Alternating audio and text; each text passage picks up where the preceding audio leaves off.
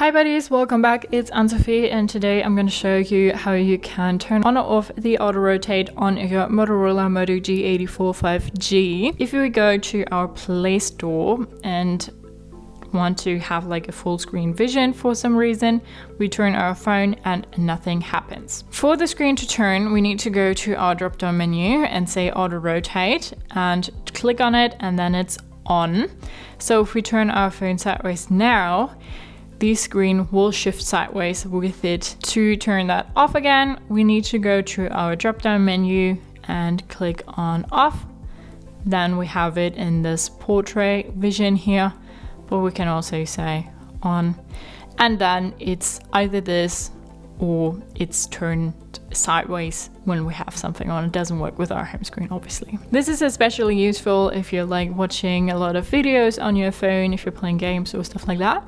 So that's how you can turn on or off the auto rotate on your Motorola Moto G84 5G. Hope you liked it, hope it helped. If so, thumbs up, share and subscribe, and I hope to see you next time. Bye.